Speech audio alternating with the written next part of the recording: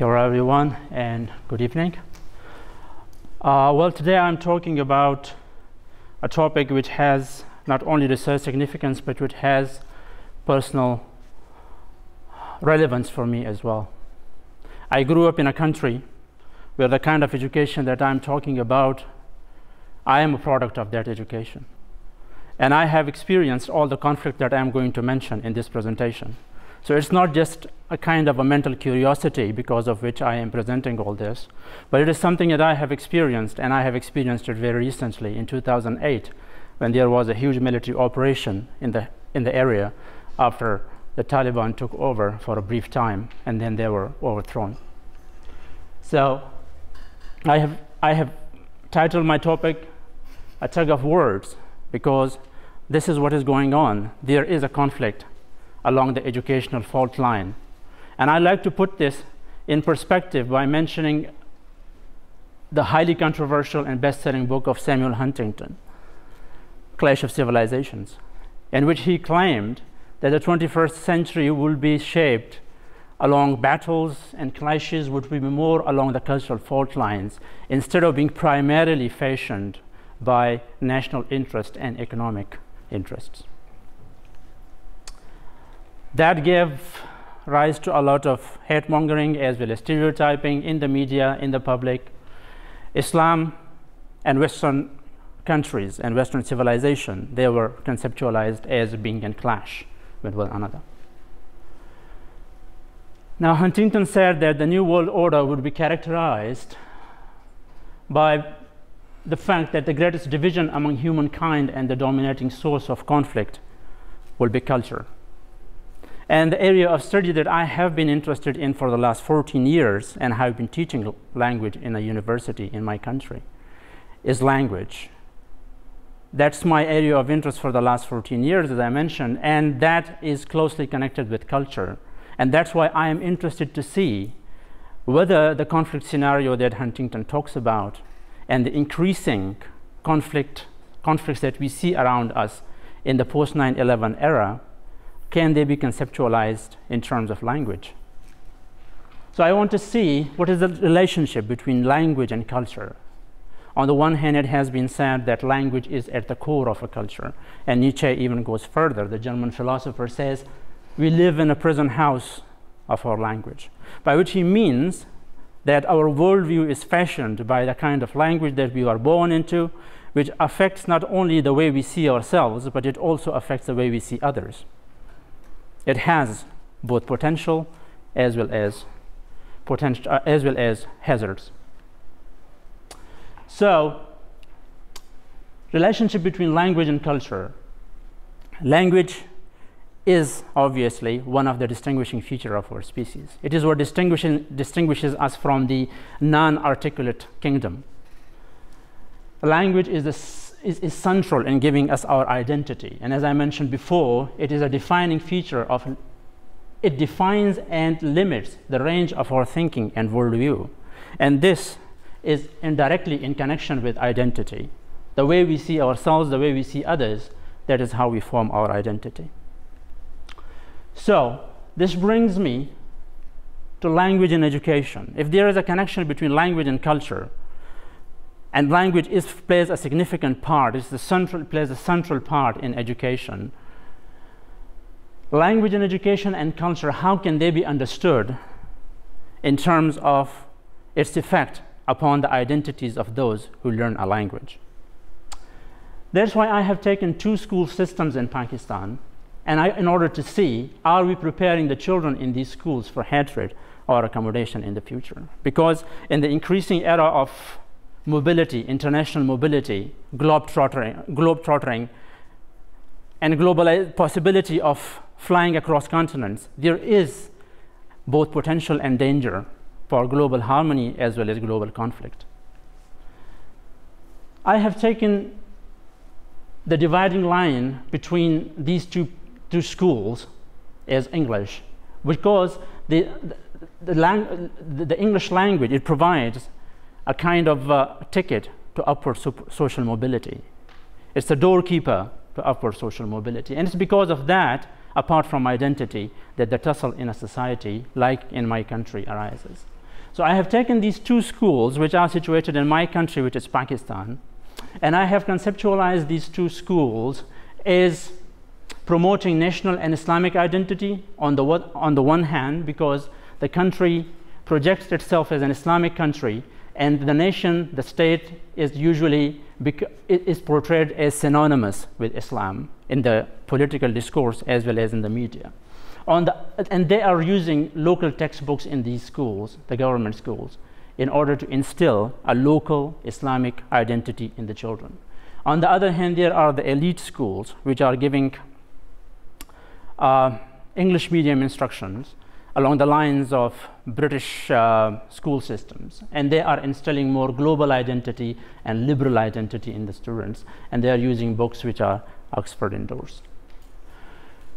Now, the education system in Pakistan, the education field is a conflict zone.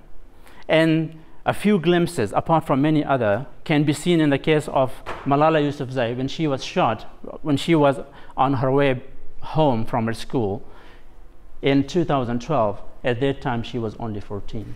She was going to an English medium private school, and she had been advocating universal ed education for girls.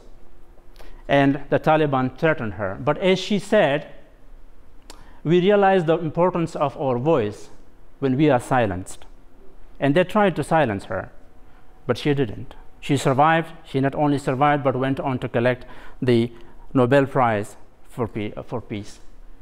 Then another event happened in 2014. Religious extremists attacked an army-run school in the northern city of Peshawar. More than 130 children were killed. These are, these are tragic but true stories. So my question is, the national and Islamic identity on the one hand, which is promoted by the hundreds and thousands of schools throughout the country. And on the other hand, the global and Western identity, which is so blatantly proclaimed and promoted by the private schools, which are also, if not in hundreds and thousands, at least in thousands throughout the country. What is it doing to the children? Where is the voice of the children? What do they think they get when they are in a foreign language class? So, whether it is these children who are studying in a private school, sitting in a cozy environment, or these children who are sitting on the floor in a government school. Both of these need to be heard, and I think their voices should be put together. The two schools have two ideologies. As I mentioned before, the government schools there have more Islamic ideology. Their English is taught as a foreign language, and the key, the key word is foreign here what are these children getting and what the teachers think that these children should become in the future. What is the conception of the teachers about their students and what is the conception of these students about themselves in the future.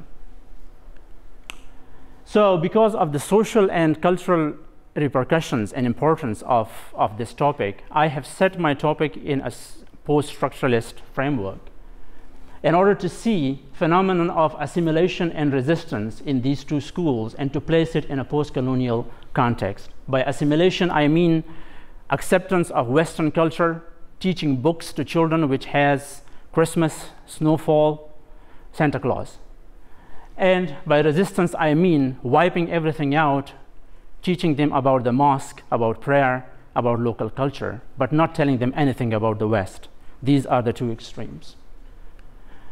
Now, I am using as my method, I'm using imagined communities, which is a concept, which is a construct proposed by Bonny Norton, in order to see what these children want to become in the future and what is the effect of that imaginative flight upon their learning.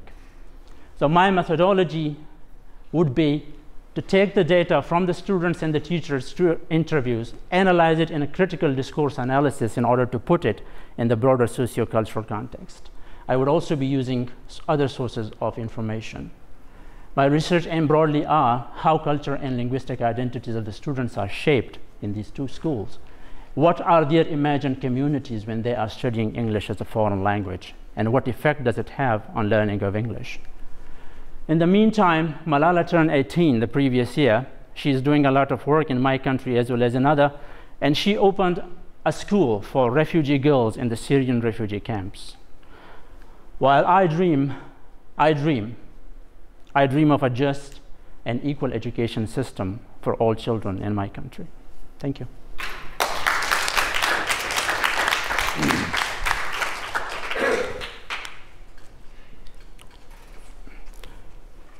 Yeah, please. Um, I'm just thinking very interesting. Um, I'm just curious what you've got on that side there. What does a just and equal education system mean to you?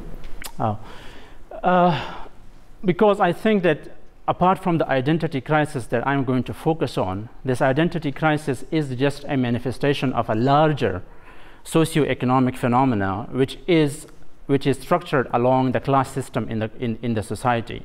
So the class system it perpetuates itself in collusion or in agreement with the education system. The education system provides very little opportunity of good education to these children, and they have very little opportunity of getting quality teaching in English. And English in the country, in this country, is the key to access high pay, jo- high jobs, access high, po- high positions in the military, in the bureaucracy, politicians, business, everywhere. You see, so these children, they, are, they account for 92% of the population. The children to your right, they account for about 4 to 5%, while there are other schools that are in the middle, they account for 3 to 4%. So by just I mean why the edu education system is not being, being, being harmonized in a way that every child, whether they are born to poor parents or to rich parents, they have equal chances.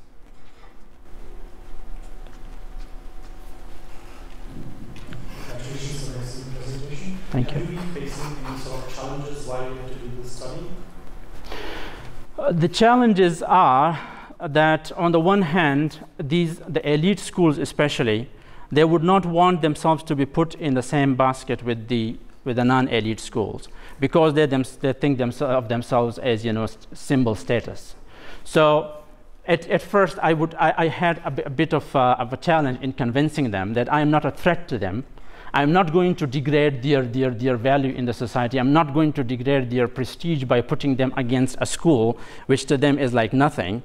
And they would say, like, oh, you're going to place us against them, but we, we train our teachers and, and, and, and, and uh, uh, Oxford certified uh, trainers, they come to Islamabad and they train our teacher, and you are placing against those schools. So I said, no, this is not my purpose. And I had to do quite some bit of convincing that I am here just as an observer. I am not here to judge. I'm just trying to find out what is happening and to present it. Thank you. Thank you.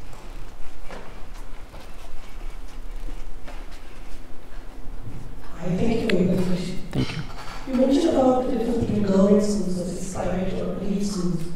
So the curriculum that these private schools have, Mm. do they get any sort of government investment or Mm. they are just running a parallel education Mm. system Mm. without any government Mm. investment? Yes, uh, Uh, that's, that's a key point. The, all the, the, the, the proliferation of the private sector in the country, it is because of the lack of a clearly defined education policy in the country. So the education policy is in place. But if you re- read the document, by the end of reading the document, you read to the last page, you get no sense of what they want people to do. There is so much scope for people to define it in their own way. And that is what they are taking advantage of. Some people are teaching Oxford endorsed books, other people are printing their own books in the country. There is a government school system which is printing its own books. There are madrasas which are printing religious books. So this is all because of a lack of a clearly defined education policy, and this, you pointed it very well.